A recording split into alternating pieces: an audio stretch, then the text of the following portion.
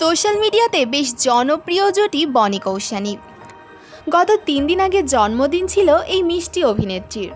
তবে করোনা পরিস্থিতির কারণে সেভাবে কিছুই করতে পারেননি তার জন্মদিনে। বাড়িতেই ফ্যামিলির সাথে জন্মদিন পালন করেছেন এই অভিনেত্রী। এমনকি বনিও তাকে ভিডিও কলের মাধ্যমেই জন্মদিনের উইশ করেছেন।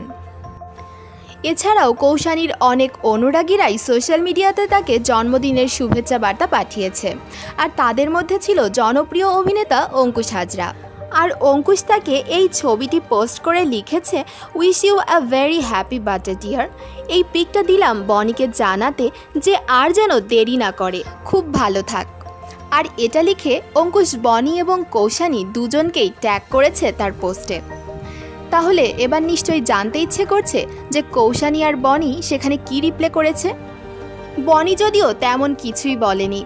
মজা করেই উড়িয়ে দিয়েছে কয়েকটি ইমোজি দিয়ে। আর অঙ্কুশের সেই পোস্টে কৌশানীকে বেশ পজিটিভলি রিপ্লে করতে দেখা গেছে। সেখানে কৌশানী বলেছেন, করোনা পরিস্থিতির জন্য লেট করতে হচ্ছে।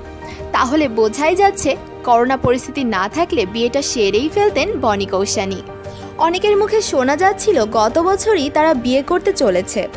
তবে এ ব্যাপারে বনি জানিয়েছেন, তাদের ইচ্ছা ছিল দু হাজার বাইশে বিয়ে করার। কিন্তু এই করোনা পরিস্থিতির কারণে তারা দু হাজার আগে বিয়ের কথা ভাবতেই পারছে না। শোনা গেছে, বনি একটি ফ্ল্যাটও কিনেছে ইএন বাইপাসের পাশে।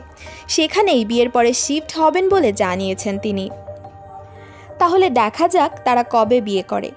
এদের জুটি আপনাদের কেমন লাগে অবশ্যই আমাদেরকে কমেন্ট করে জানাবেন। আর আমাদের ভিডিও নিয়মিত পেতে চ্যানেলটি সাবস্ক্রাইব করে পাশে থাকা বেল আইকনটি প্রেস করে দেবেন।